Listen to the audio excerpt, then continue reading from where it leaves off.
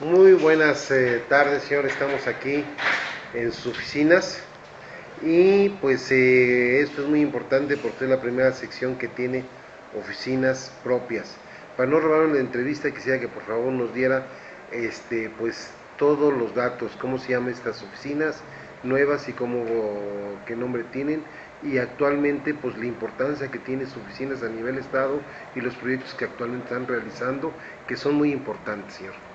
Bueno, es la oficina de la Confederación Nacional Campesina, es, una, es uno de los tres sectores que tiene con los que cuenta el Partido Revolucionario Institucional junto con la CTM y la CNOP, además de las organizaciones, somos la Confederación Nacional Campesina. Y bueno, estamos somos el primer sector que logra construir sus propias instalaciones, aquí donde vamos a tener la parte de la dirigencia, la parte del trabajo político y también la parte de los proyectos productivos. Aquí un anexo al lado derecho va a estar el despacho técnico de la CNC, cuyo propósito es servir como herramienta a la gente del campo para que les ayude a integrar sus expedientes técnicos de tal manera de que les facilite el acceso a los programas de apoyo a la producción, a los programas de apoyo de proyectos productivos, tanto del gobierno federal como del gobierno del Estado.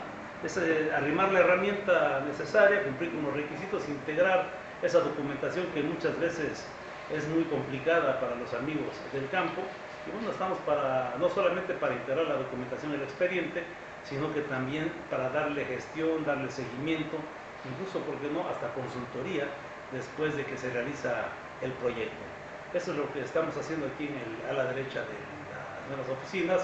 Y bueno, en la parte política, la parte que nos corresponde para organizar a la gente del campo para los procesos electorales, ya hemos terminado prácticamente lo que es la reestructuración de los comités municipales campesinos y hoy estamos entrando a la etapa de preparar lo que habrá de ser eh, la parte complementaria documentacional para el registro del que habrá de ser nuestro próximo candidato a presidente de la República y sobre todo la estructura con la que habremos de, operar en las próximas elecciones con miras a ganar las, los procesos electorales del año 2012. Eh, señor Bertín, en cuanto al declínio que acaba de realizar eh, Mario Fabio Beltrones eh, a favor de Enrique Peña Nieto, ¿cómo lo, ¿cómo lo considera usted? ¿Cómo lo percibe?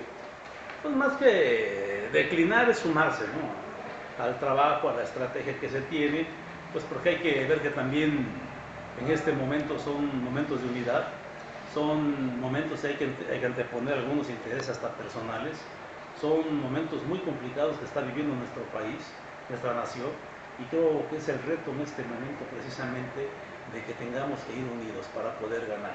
Y el reto no solamente es ganar la elección, sino recuperar la tranquilidad de nuestras familias, recuperar la tranquilidad de nuestras calles, recuperar la tranquilidad de nuestra ciudad, de nuestro estado. Eso es lo que nosotros consideramos que es el reto mayor. Hoy sabemos que Manlio Pablo Bertones, Beltrones, que de alguna forma se suma al trabajo que ya se venía realizando. Y bueno, para nosotros es, bienvenido y qué bueno que los hermanos mayores, por así decirlo, están dando el ejemplo de, esta unidad y que bueno, habrá de ser las próximas elecciones de tipo federal como somos diputados, así como la elección local, esto debe servirnos de ejemplo precisamente de que más allá de los intereses personales, más allá de los intereses individuales, están los intereses de la sociedad, que es lo que tenemos que ofertar como partido. Muy importante lo que nos acaba de informar, señor, que realmente pues esto va a permitir pues darle una claridad a la política, pues sobre todo el Estado de Guerrero y del país.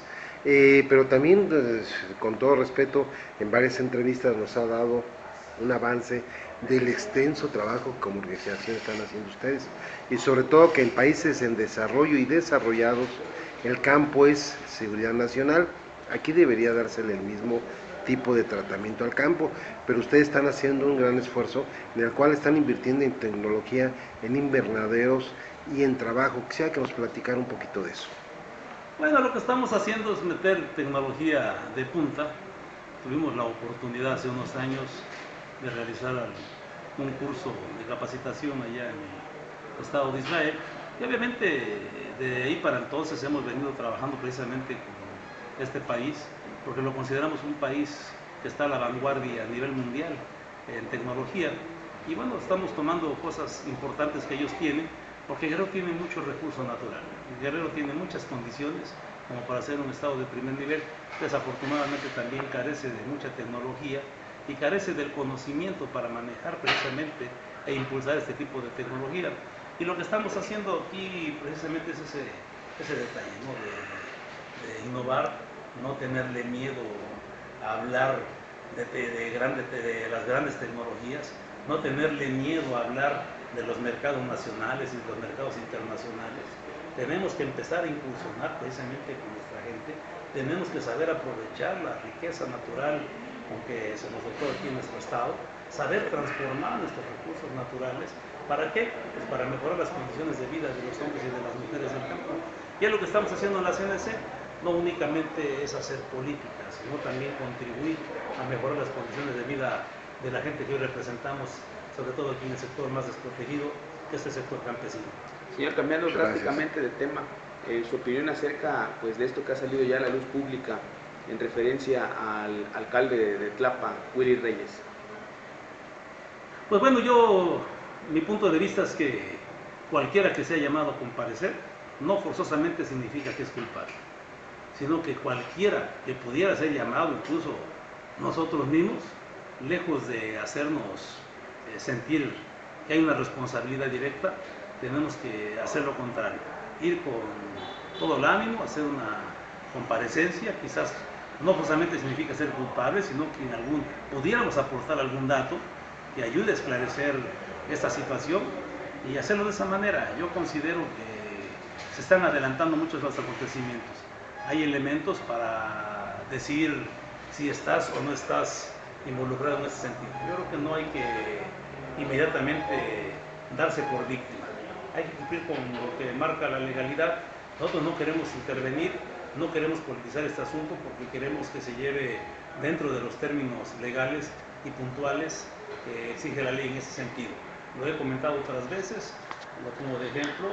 En una ocasión a mí me demandó un dirigente del PRD de que andábamos haciendo eh, acciones indebidas desde el punto de vista electoral y yo lejos de ir a, a, los medios de comunicación a hacerme el mártir, al contrario fui a comparecer por mi propia voluntad y sin que me llamaran a la FEPADE para aclarar precisamente que yo no tenía que ver con ese tipo de declaraciones. Creo que hay que tomar las cosas con calma y, y contribuir precisamente eh, en esclarecer esta situación. Pero el apoyo o sea, se lo están dando a Willy Reyes, porque mencionó en una entrevista en Milenio que no tiene el apoyo por parte de la dirigencia del PRI en el Estado. Es que intervenir en este momento es como venir a enturbiar precisamente el procedimiento. No queremos que se politice, digo, tampoco vamos a satanizar a nadie, únicamente que se cumpla con todo lo que conlleva el, desde el punto de vista legal, nada más. Perfecto. Señor, pues muchísimas gracias por esta bien entrevista y pues algún mensaje para redes, para gente que nos está viendo en Europa, Estados Unidos, Canadá, porque ya es una realidad por hoy que es mucha gente de esa bota y atiende y manda dinero aquí a México. ¿Algún mensaje para ellos, señor? No, pues nada más un saludo para todos, eh, que estamos trabajando y la gente que pudiera ver en el extranjero esta entrevista, sobre todo los Estados Unidos, recuerden que hay un programa muy importante que se llama Programa Migrante, que es al 3x1 y ahora no solamente está en condiciones sociales, sino también en lo que es respecto a proyectos productivos con sus familiares y que ojalá puedan entrar en comunicación con los mismos y que la CNC está para apoyarlos, organizarlos elaborar los expedientes, cumplir con los requisitos para que este apoyo que desafortunadamente se ha estado regresando a Hacienda, que no se ha podido aplicar como debe de ser en el estado de Guerrero, que la CNC está en mejor disposición de ser el enlace precisamente para realizar estos recursos en un estado tan pobre como es Guerrero, que no puede darse el lujo de regresar recursos a la federación. Así es. Un saludo para todos. Muchísimas gracias. Su nombre y cargo, por favor. Albertín Cabañas, presidente de la CNC Guerrero. Gracias.